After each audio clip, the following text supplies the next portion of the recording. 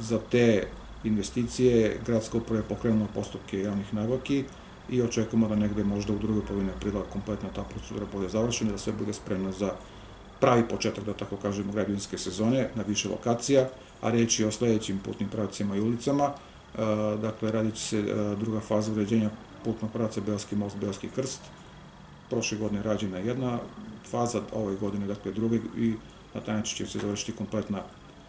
kompletne izgradnje i asfaltiranje tog putnog pravca. Zatim radit se deo ulice Berilovački put,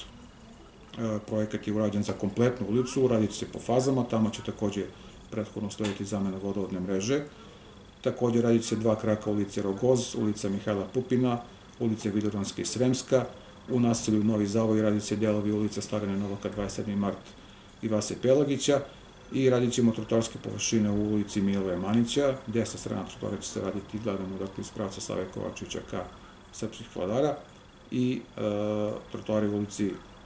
Lava Tolstoje. To je ono što je predviđeno, kažem, budžetom grada, a e, najave su da će rebalansom budžeta koji će slediti na prvoj narednoj skupštini e, biti dodata sredstva za e, putnu infrastrukturu, uopšte za investicije, tako da ćemo o tome naravno govoriti govoriti naknadno, ali kažem sa tim nekim najavama i sa onim što već imamo i sa prenetim e, sredstvima i poslovima iz prethodne godine negde procenim da će blizu 3 miliona evra biti uloženo ove godine od strane gradske uprave u putnu infrastrukturu.